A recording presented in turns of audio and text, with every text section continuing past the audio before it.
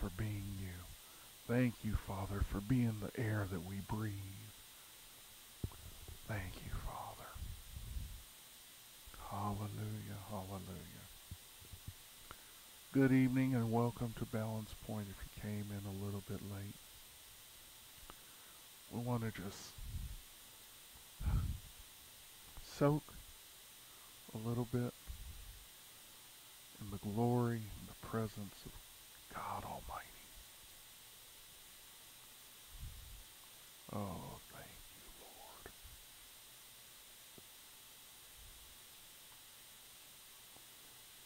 While we also fix our tech. First off, we want to welcome you to Balance Point. If this is your first time visit, we just pray that you will uh, find this time with us edifying and that uh, you will um, enjoy the time in the Word. Now it's time for our uh, weekly announcements. If you are in the Southern California area, we would love to have you join us here at Live Worship. Now, the glorious thing about where God has placed us is we are right exactly in the middle of Southern California. I mean, literally. If you are anywhere within the Southern California area, believe it or not, you are no more than an hour away from us, especially on a Sunday night, especially on a Super Bowl night. There ain't nobody out on the road to get in your way. But you know what's better than Super Bowl night? It's any night that we can go up to the house of the Lord. And so we would like to invite you to come and worship with us. All we ask that you do if you'd like to come and worship with us live is shoot us an email at staff at balance-point.org. That's staff at balance-point.org. We'll give you instructions for how to get here. We'll give you some tips on where to park. As you can tell, we do not meet in a traditional church. We actually meet in a private home. And um, so we want to be kind to our neighbors. And we want to be a good witness to our neighbors by not overwhelming the area with a lot of people. So we do limit how many people can come to live worship with us uh, as a matter of consideration for the parking situation where we're located. If you're catching this on YouTube as a post recording, we'd like to invite you to join us for live worship in our worship center. I'm sorry, our virtual sanctuary. Words, I have trouble with them. Come join us in our virtual sanctuary at balance-point.churchonline.org. That's balance-point dot churchonline, all one word, dot org. There we have a virtual sanctuary where we can gather together to worship. Just because you are watching this through a screen does not mean that you should be cut off from the experience of communal worship. The Word tells us that we should not forsake the gathering together with the brothers. Now, back in the day, before the advent of technology, that meant that your church was someplace geographically located that you could get to it. But with today's technology, your church is where you gather together. Whether that is physically, by coming here to Southern California and coming to a worship service, or whether that is virtually. The point is we gather together as a community. We would love to have you join us for worship. Nextly, if you do not have a church home, if you are a Christ follower, if you are a believer that Jesus died for your sins, you should be part of a church home. And if you don't have a church home, we would like to invite you to consider making Balance Point your church home. Whether you're able to come to the service live here in Southern California, or whether you uh, are attending the service via the live stream, we would love to be able to serve you and to be able to minister to you. We would also love to have your gifts available to the body. You see, the funny thing about Balance Point is you know, you see me in front of the camera. You see me coming through your computer screen or your Roku screen or or your smart TV or your satellite phone, just to name a few ways that people have mentioned that they connect to Balance Point. And you see me. And it looks like it's just one person. But you need to know something about Balance Point there are many people that require to take to put uh, balance point service together. We have ministers in our virtual sanctuary. We have musicians here locally. You know, we have. Uh, we're hoping to add someone to help us with uh, the technology and the video switching. but each of you has been given a gift by God, multiple gifts. And you should be plugged into a church home where you can use those gifts. Maybe your gift is leading, interceding, counseling. Well, because Balance Point is a non-traditional church, most of our ministry happens in a small group setting. And so we are always on the lookout for mature and maturing Christians who can lead a small group, who can be a, a local minister to a small group of 5, 10, 20 people. Because that's where real ministry happens. Even if we were a traditional church with a building and offices and all of that, guess what? There's only so much that a single pastor, even even if you had a staff of ten pastors, there's only so much that those pastors can do. There's only so many people that those pastors can serve. And so we need your gifts. We need your talents here at Balance Point. So consider making Balance Point your church home. And now today we're going to continue in our study on, whoa, restoration. And now you see why we need somebody to help us with technology. or if you haven't seen it yet, you will soon. So we began a study on restoration. And the study on restoration came out of the um, pillars or the foundations of Balance. Those foundations are the Word. We're people of the Word here at Balance Point. Worship. We are people who worship God. And working. We are people who are not just hearers of the word, but we are doers of the word. And the goal of the word and the worship and the working is restoration. Restoration. What does that mean? It means to be brought back to the original condition of. You see, God is a restoring God. And so we looked at restoration in general. And now we're going to look at God as the restorer. And this week we want to look at the restoration of the relationship between a holy, righteous, sinless God and fallen sinful man. And so we're going to be looking at that. Have to stretch a little bit here. In terms of God as the restorer of man. Now for us to really get into what God is God is restorer of man, we got to understand where we came from. You see, when God made man, God said this about man. God said, watch this, all the way back in the beginning. Genesis chapter 131.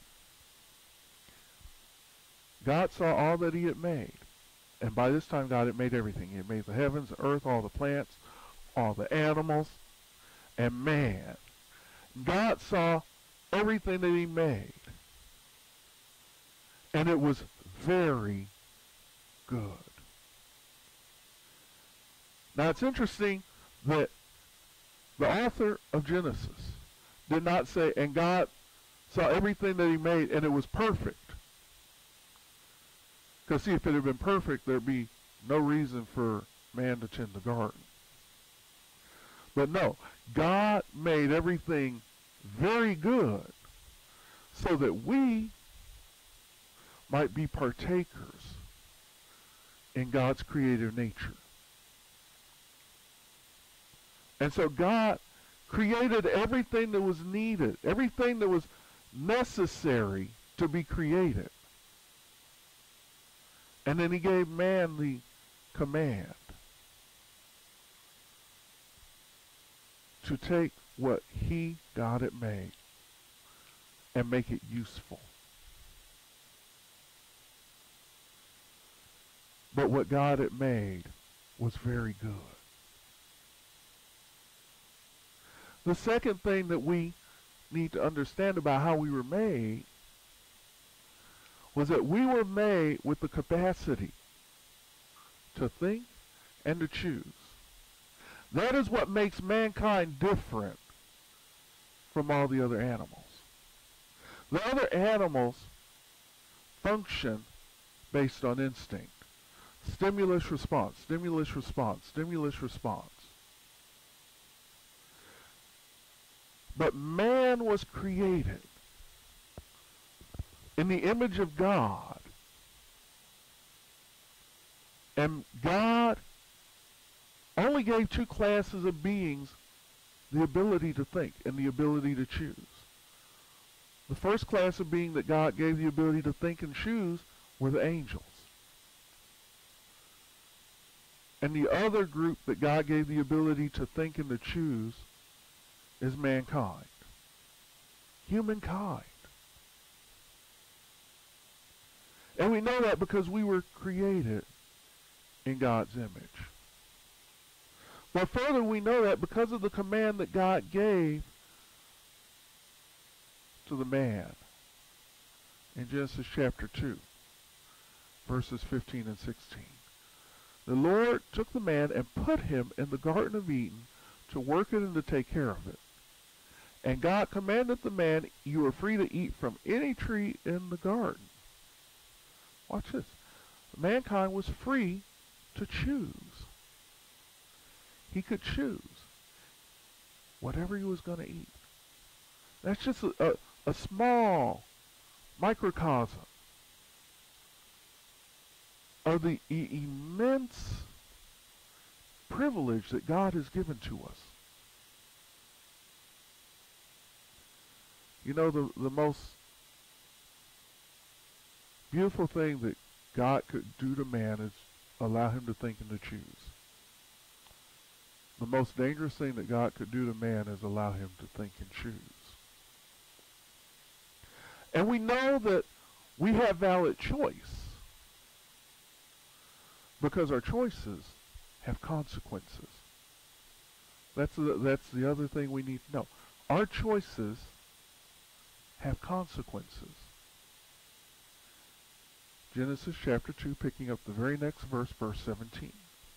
But you must not eat from the tree of knowledge of good and evil, for when you eat from it, you will certainly die. In other words, God left it up to man to choose whether he was going to eat from the tree of knowledge of good and evil. But there was a valid consequence. If you don't eat from this tree, you will live. If you do eat from this tree, you will die.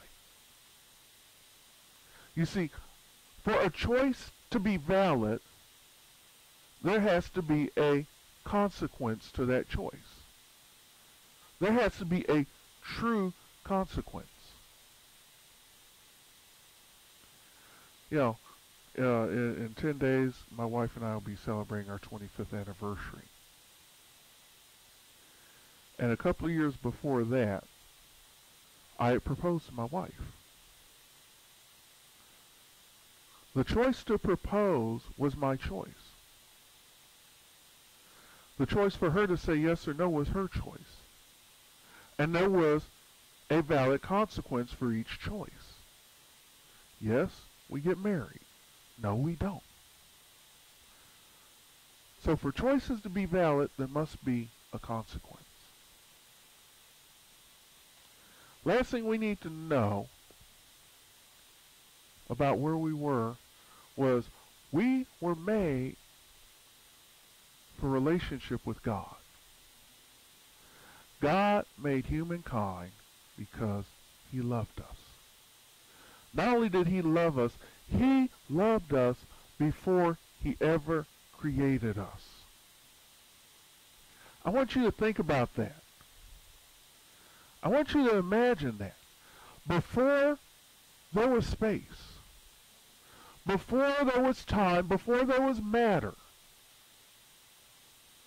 God had decided that he loved you.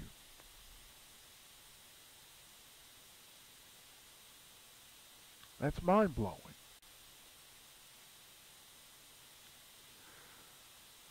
Jeremiah 31 3. Now, this is referring to the people of Israel, but this is also referring to everybody that God has ever created. The Lord appeared to us in the past, saying, I have loved you with an everlasting love. I have drawn you with unfailing kindness. Isn't that, a, isn't that the description of the God that we serve? He loved us with an everlasting love. How big is the Father's love? His love is as far as the east is from the west. How big is God's love? God's love is so big that it's encompassed by arms that were stretched out on a cross. And the amazing thing is, he loved us even knowing that we would reject him. So that's where we were. We were loved by God. We were made with the capacity to think and to choose. We were made very good. But what happened? Sin came into the world. What sin? Sin is nothing more than missing the mark. Sin is missing the expectations of God. And here's the thing about sin. We're all sinners. You see, the world would have you believe that there is good, better, and best.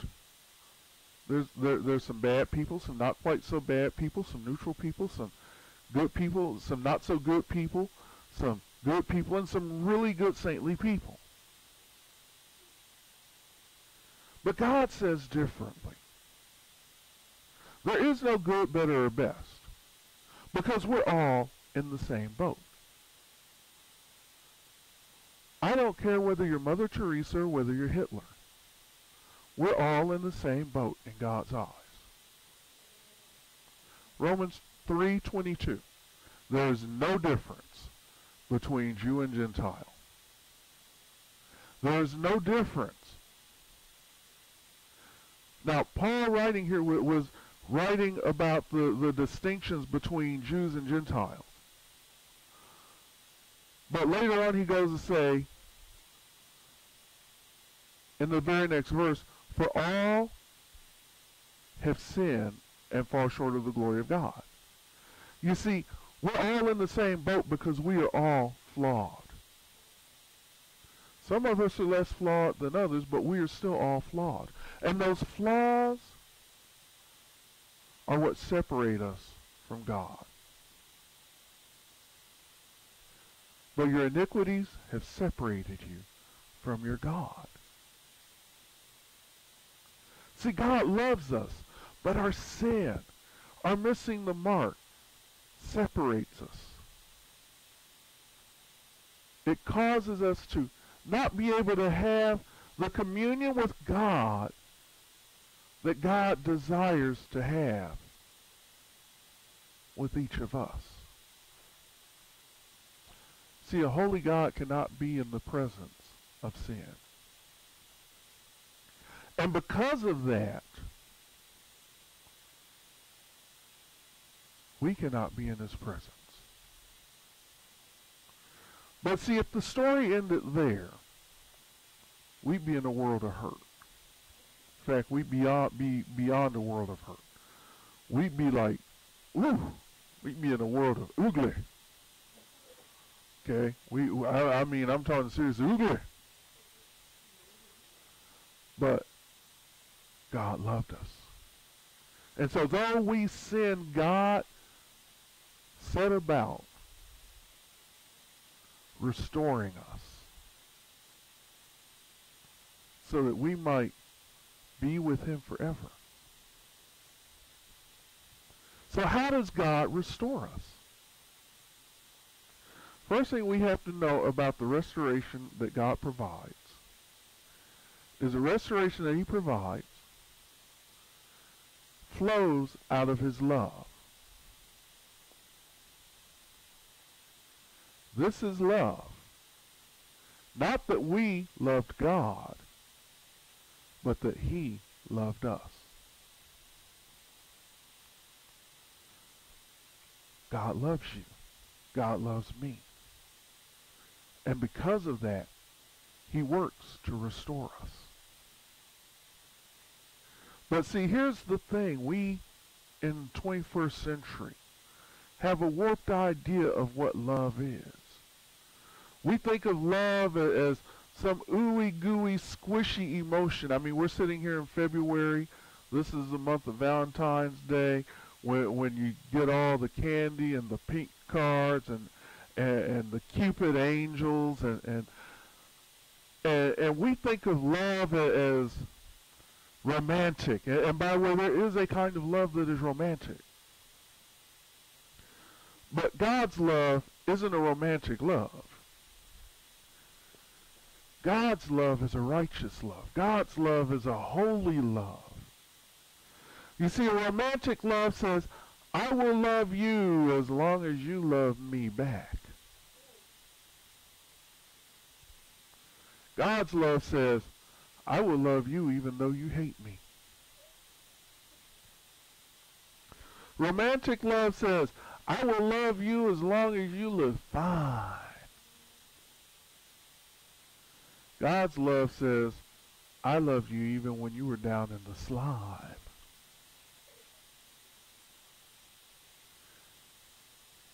So God restores us based on love. God restores us based on seeking that which is best for us. But the problem was that we owed a debt.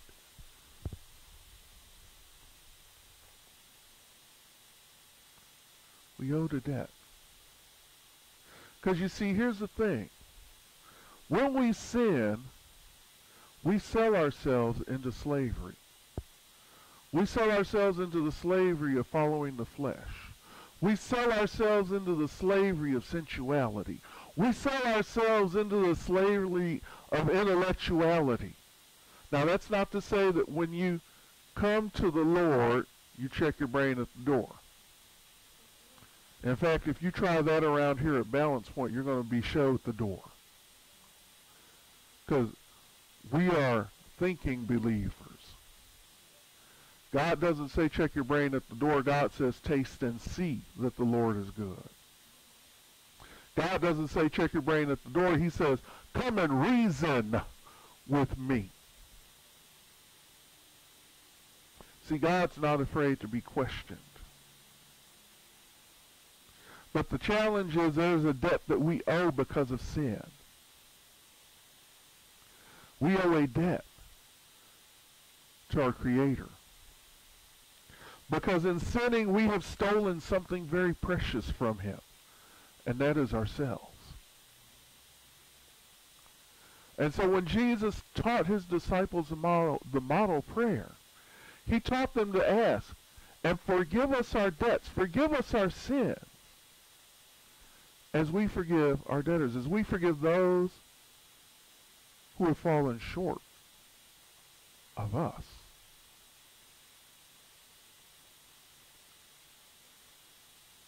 See, we owe God a debt. But even worse than that, we owe God a debt that we cannot pay. After all, how can a finite human being who's basically dust and water and a little bit of breath, who lives for maybe 70, 80 years on this plane of existence, and then it dies and goes back to dust, how can we puny little humans ever repay a holy, eternal, omniscient, omnipresent God, a holy God, set apart, a God that is set apart, eternal, God that goes from forever in the past to forever in the future, a God that exists outside of time, omnipresent, a God who is everywhere at all times, Omnip- omnipotent, a God who can do whatever he wants, whenever he wants, wherever he wants, however he wants. How do we repay something like that? We can't. Fact, Jesus tells a parable about it. Therefore, the kingdom of heaven is like a king who wanted to settle accounts with his servants. As he began the settlement, a man who owed him 10,000 bags of gold that's a lot of gold. Was brought to him. Since he was not able to pay, the master ordered that he, his wife, and his children, all that he had, be sold to repay the debt. We are that man that owes God oh so much, and yet we cannot pay. But we can do what the servant did. At this the servant fell on his knees before him. Be patient with me, he begged, and I will pay back everything. Well, his first mistake was believing he could pay back everything. Ten thousand bags of gold? You ain't paying that back, homie. The servant's master took pity on him and canceled the debt and let him go. Now, there's more to that parable, but I want you to consider this. That servant owed the master, and he couldn't pay. And the servant offered to try to pay, but the master felt sorry for him. See, that's us. Apart from what God does for us through his son Jesus, we run around trying to pay. Whether it's going up on a mountain to meet with some guru, whether it's beating ourselves bloody, whether it's praying five times a day pointed in some special direction, that's just mankind trying to pay. Trying to pay. But we can't. Have you ever noticed how after you do one of these great things that you that you think you're doing because um, because you know it, it will get you some merit with God. How after you're done with that thing, you just feel empty. In fact, you probably feel worse than before you started it. That's because there's a hole that we can't fill. And only Jesus can fill the hole. Only God can fill that hole. Only the infinite can fill that hole. So if we can't pay, who pays? Because see, God is also a God of justice. And God said that, well, you know what? Since you can't pay, I'm going to send my son to pay. And that's amazing. See, I don't know that I could give up my son for another person's life. And yet God does that very thing for us.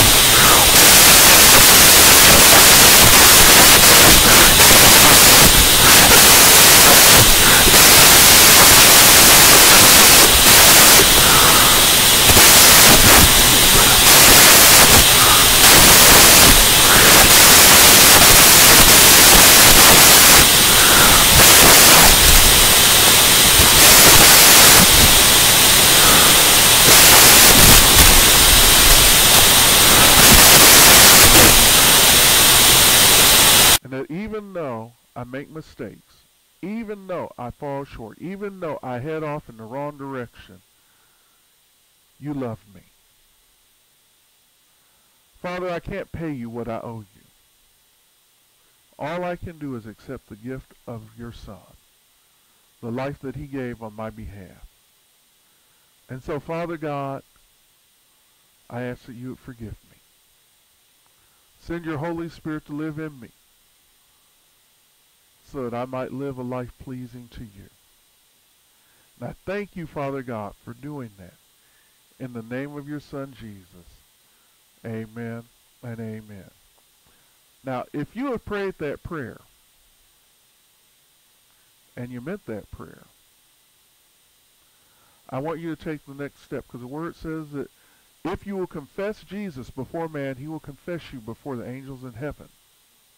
Another passage says that where two or more come into agreement about a thing here on earth, it shall be established. I'm one, you're one. I want to come into agreement with you about the fact that you have been saved, that you have been restored.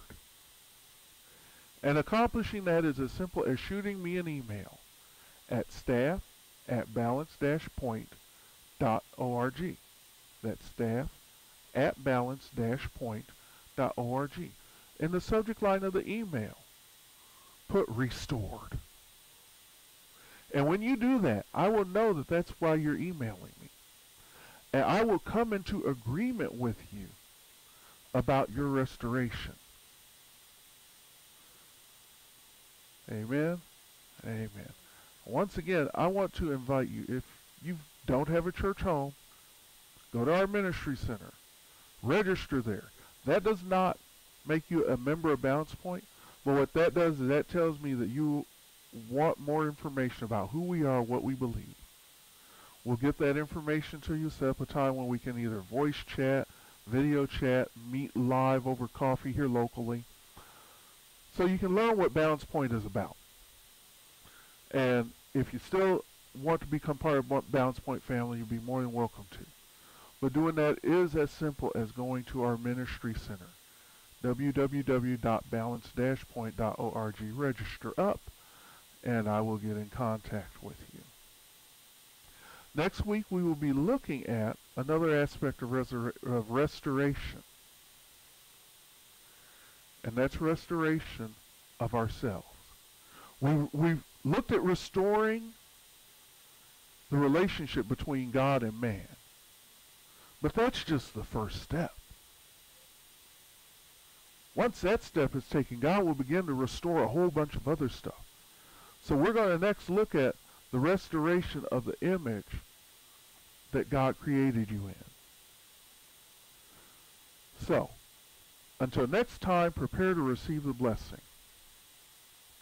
In the name of the Father, who made you and makes a way of restoration for you, in the name of the Son, who paid the price of restoration on our behalf, and in the name of the Holy Spirit, who seals us in a restored life.